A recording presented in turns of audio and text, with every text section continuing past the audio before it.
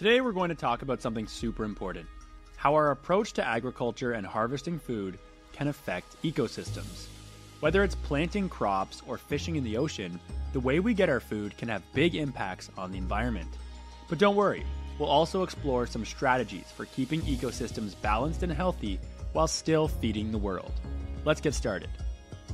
Agriculture, or growing crops and raising animals, is essential for feeding the planet. But it can have some serious effects on ecosystems if it's not done carefully. Here are a few ways it can disrupt the balance. Monoculture is when farmers grow only one type of crop, like a field full of corn or wheat. While it's great for producing large amounts of food, it can deplete the soil of important nutrients. Since the same crop is grown year after year, the soil loses the diversity of nutrients that other plants would provide. This can lead to poorer soil health, making it harder to grow crops in the future. It also makes the ecosystem more vulnerable to pests and diseases because there's no diversity of plants to keep the system balanced. To protect crops from pests and help them grow faster, many farmers use chemical pesticides and fertilizers. While these chemicals help produce more food, they can also seep into the soil and water, harming other organisms in the ecosystem.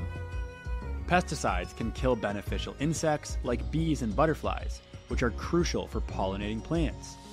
Fertilizers can cause algae blooms in nearby rivers and lakes, which use up oxygen in the water and create dead zones where fish and other aquatic life can't survive.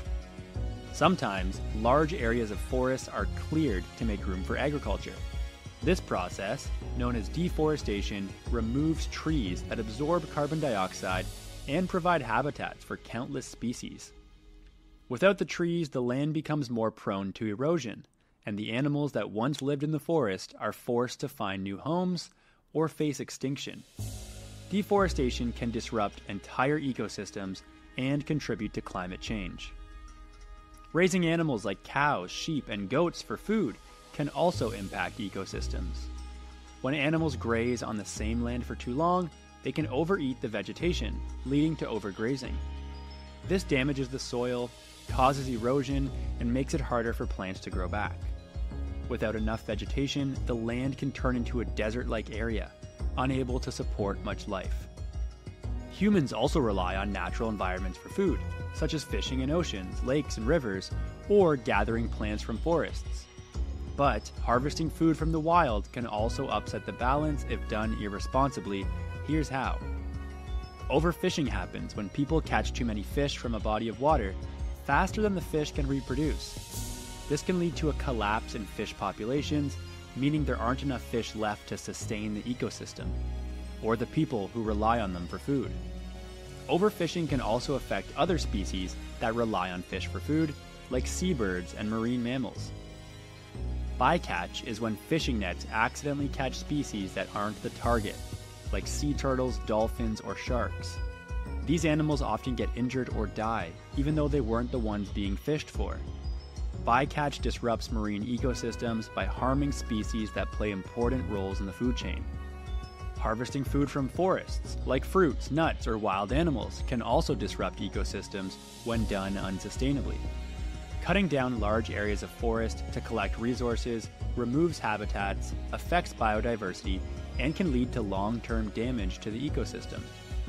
So, how can we make sure we're getting the food we need without destroying ecosystems? Here are some strategies to help maintain or restore balance.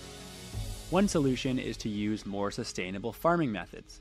For example, crop rotation involves growing different types of crops in the same field from year to year. This helps replenish the soil with nutrients and reduces the need for chemical fertilizers. Farmers can also use organic farming techniques, which avoid synthetic pesticides and fertilizers, helping to protect the environment. Agroforestry is a method where trees and crops are grown together. Trees provide shade, improve soil quality, and support biodiversity, all while allowing farmers to grow food. Agroforestry helps maintain ecosystem balance by mimicking natural systems. Instead of relying on chemical pesticides, farmers can use integrated pest management, a method that combines different techniques to control pests. This might include introducing natural predators, like ladybugs to control aphids, or using crop diversity to make pests less likely to spread. This reduces the impact on the environment while still protecting crops. There are also sustainable fishing practices to be considered. To prevent overfishing, governments and organizations have put fishing quotas in place, limiting how many fish can be caught to protect populations.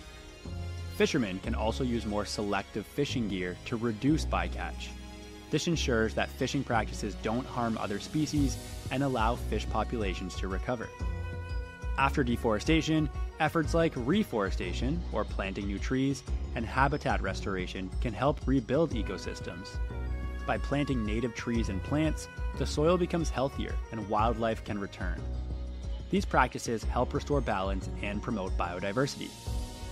When collecting food from forests or other natural environments, people can use sustainable harvesting methods. This might include only taking what's needed, leaving some plants and animals behind to reproduce, and avoiding areas that are already under pressure. Sustainable harvesting protects ecosystems while still providing resources for people.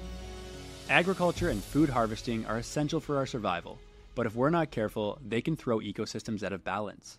The good news is that there are many strategies to ensure we harvest food in ways that protect the environment. By using sustainable farming, fishing, and harvesting practices, we can help maintain ecosystems and make sure they continue to support life for generations to come. That's it for today's lesson. Next time you see a farm or a fishing boat, think about how important it is to keep ecosystems balanced and how we can all play a role in protecting the planet while feeding the world.